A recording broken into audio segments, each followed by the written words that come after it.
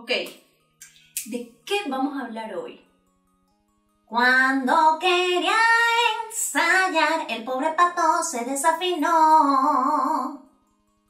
Cuchi cuchi cu, no le sale. Eh. Creo que ya saben de qué se va a tratar el video de hoy. Bueno, sin más preámbulo, vamos a verlo.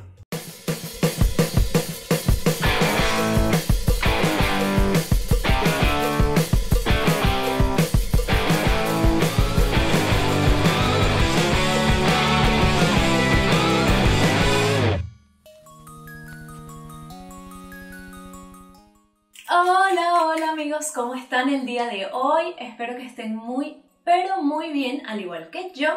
Yo soy Ana y quiero volverles a dar la bienvenida a este mi canal, tu canal, nuestro canal. En el video de hoy, como creo que pudiste haberte dado cuenta en el principio del video, vamos a estar hablando de la voz nasal y el twang. Pero para comenzar a hablar de nuestro amigo el twang, me gustaría aclarar una duda muy común que existe entre algunos de ustedes, que es si el twang es voz nasal o si son dos cosas diferentes o si el twang es un tipo de voz nasal o es un tipo de timbre nasal o cómo es la cosa con el twang.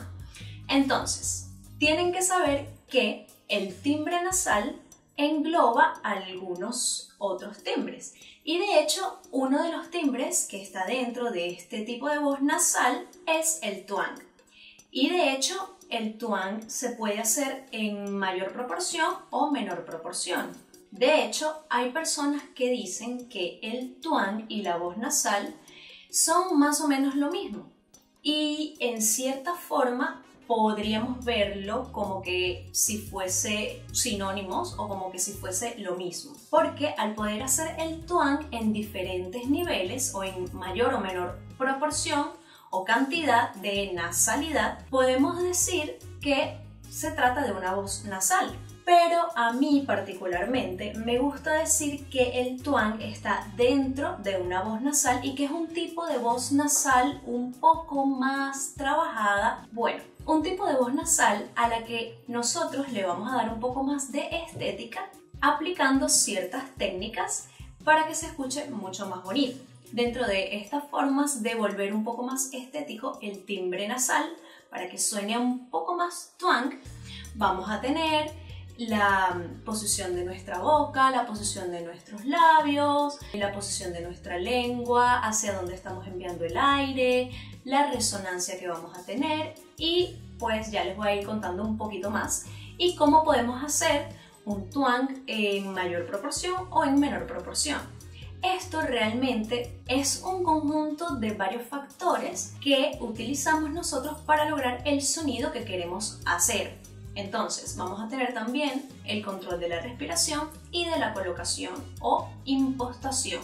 Aclarado todo esto, entonces también es muy importante que sepan que el twang es un timbre dentro del timbre nasal. Si no vieron mi video de los timbres de voz, se los voy a dejar por aquí arriba.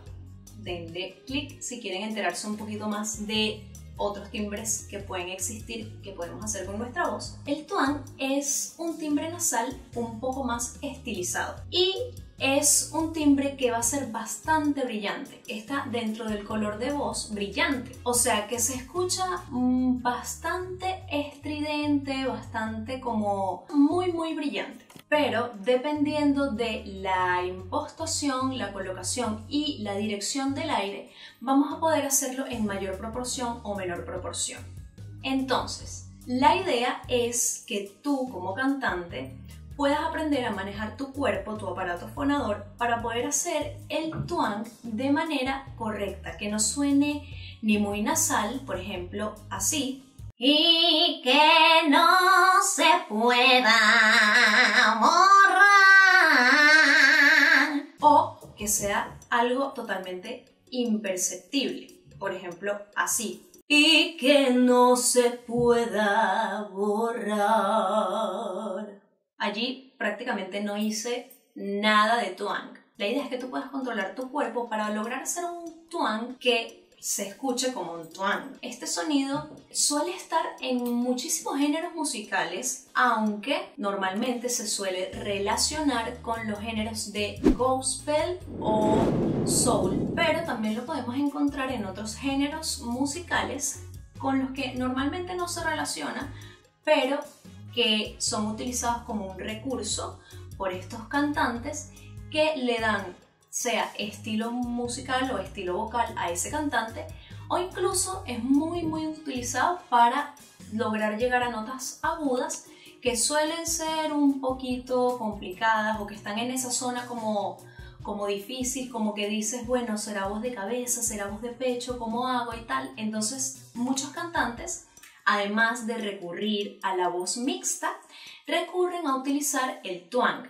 Y de hecho, muchos de ellos hacen voz mixta o para alcanzar, lograr hacer la voz mixta, pues recurren primero al twang. Entonces aquí va un tip extra en el video que no lo pensaba decir, pero bueno, aquí lo tienen. Para mí, el primer contacto con la voz mixta, además de eh, tocar falsetes o voz de cabeza, va a ser el twang. De hecho, yo siempre intento enseñar primero a mis alumnos a hacer el twang y luego de eso ya es mucho más sencillo poder llegar a ser voz mixta o tener un contacto un poco más cercano a la voz mixta, porque ya tienes una colocación muscular o ya, ya conoces cómo puedes colocar tu voz o tu aparato fonador para lograr llegar a ese tipo de notas. Para mí es uno de los usos más importantes que tiene el twang y de allí la importancia de aprender a manejarlo y hacerlo de la correcta manera. Bueno,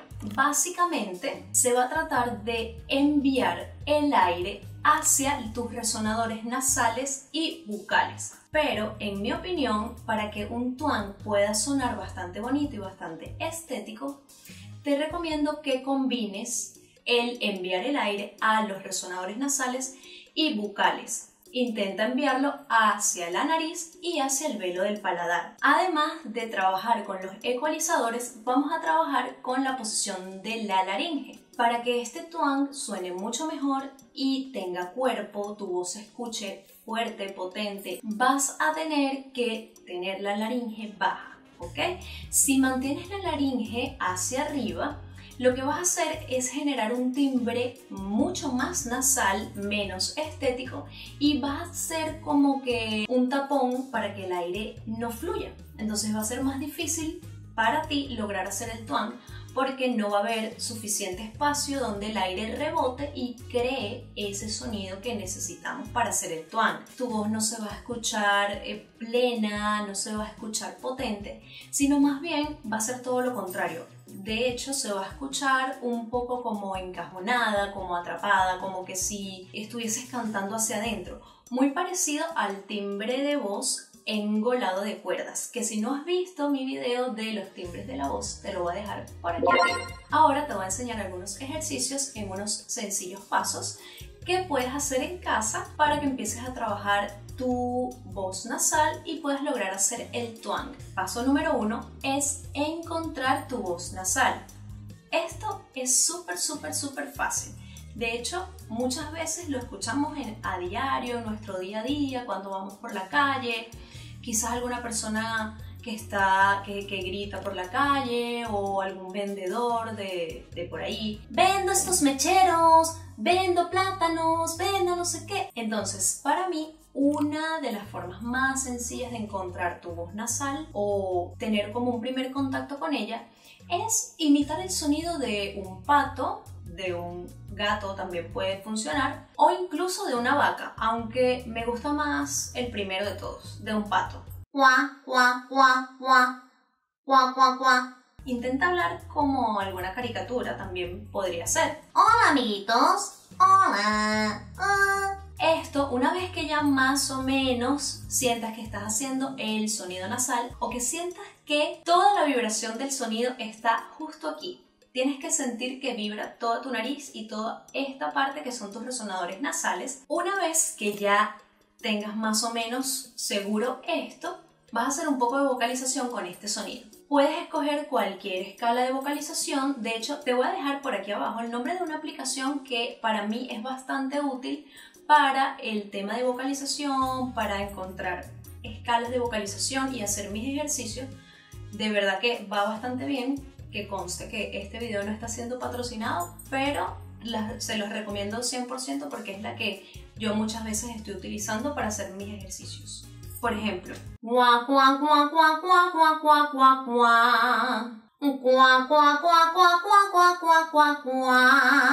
la idea es que con este ejercicio, como estás trabajando el twang o el timbre nasal, sea un sonido muy exagerado.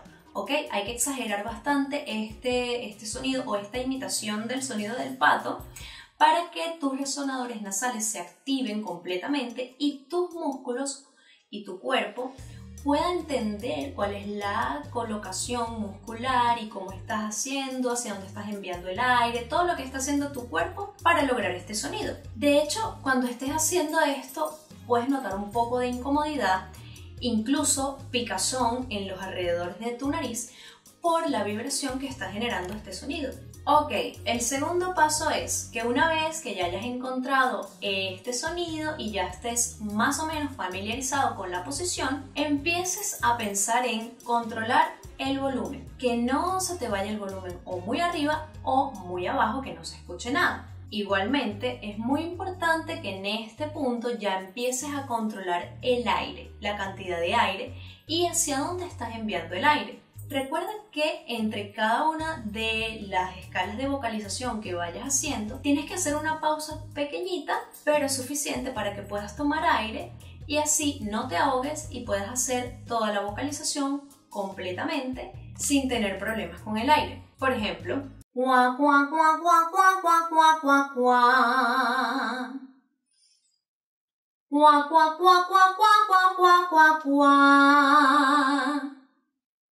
lo puedes hacer con miau o con ney o con cualquier sonido que tenga la letra N, M o Ñ. Estas tres letras ya de por sí tienen una colocación muscular cuando las decimos que nos proporcionan enviar el aire un poco más hacia la nariz.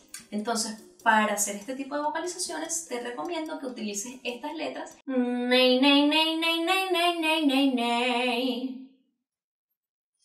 Miau, miau, miau, miau, miau, miau, miau, miau, miau. O puedes hacer una combinación de varias. Lo importante es que siempre, siempre, siempre tengas la resonancia o la vibración del sonido aquí en tu nariz. Muy bien, una vez que ya hayas practicado un par de veces dos diferentes escalas de vocalización con el sonido nasal, ahora vas a empezar como a suavizarlo, como a darle esa estética y cómo vas a lograr esto con la laringe. Una vez que ya sepas y conozcas tu resonancia nasal, vamos a bajar un poco la laringe y esto va a permitir que exista una mayor apertura de la boca y este sonido no suene tan nasal, sino que más bien va a hacer que tu voz suene más potente, más como con cuerpo y le vamos a bajar un poquito a ese sonido nasal que incluso deja de ser estético y se, vuelve un poco cansón. Por ejemplo,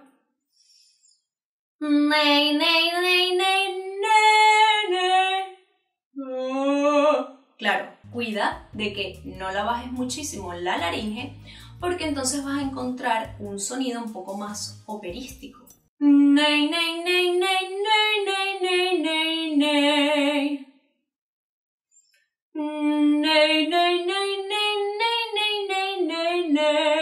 De todas maneras, te recomiendo que te grabes siempre sí o sí lo, he dicho en casi todos mis videos cuando les enseño ejercicios o vocalizaciones o todo este tipo de cosas.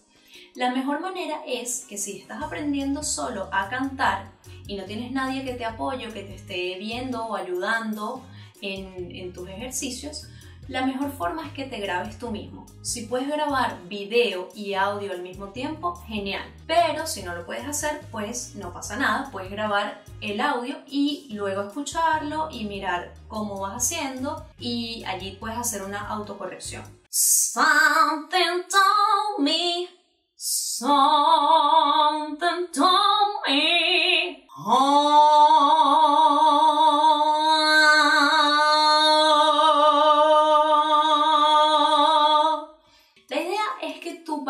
Trabajando vayas haciendo movimientos con tu boca. Una vez que ya hayas encontrado todo esto y ya te sientas bastante cómodo, que ya sabes más o menos la posición muscular que tienes en ese sonido que te gusta, pues ahora sí te voy a recomendar que hagas al menos una vez o dos veces por semana alguna vocalización con la que puedas trabajar tu voz nasal o tu twang.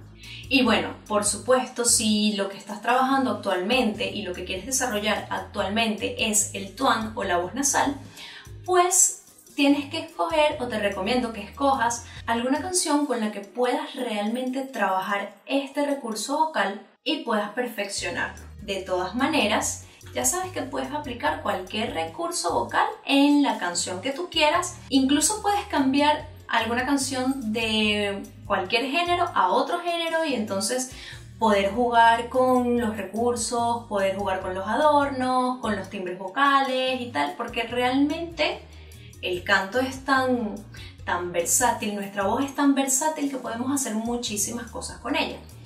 Pero lo que sí te digo es que así como podemos hacer muchísimas cosas, hay que saber controlarnos y que aunque ya nos salga muy bien el twang, nos encanta cómo suena, cómo sonamos haciendo twang, no es bueno exagerar o hacerlo en cada frase o a cada rato de la canción porque tiende a ser repetitivo, tiende a ser aburrido, como cualquier otro recurso vocal en exceso. Es como que es como decir que utilices el vibrato en exceso. Todo en exceso eh, no, es, no es bueno. Entonces, bueno, te recomiendo que una vez que ya aprendas a hacer el twang, puedas saber en qué momento de tu canción lo vas a utilizar. Y bueno, chicos, me encantó haber hecho este video para ustedes.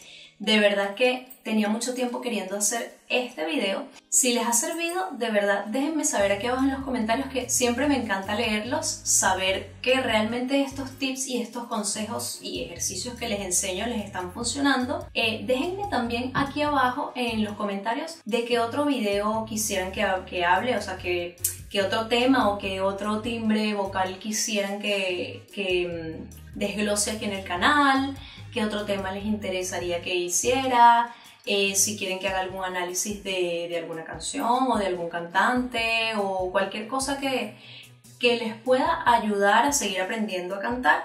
Yo estoy súper, súper contenta y súper em, dispuesta a, ayudar, a seguir ayudándolos a ustedes a aprender a cantar. Bueno, la verdad es que estoy bastante feliz con el feedback que, que estamos teniendo. Y bueno, pues nada, me gustaría que me sigan dejando aquí en los comentarios qué les están pareciendo estos videos. Eh, ya creo que se está haciendo bastante largo. Pero bueno, este ha sido el video de hoy.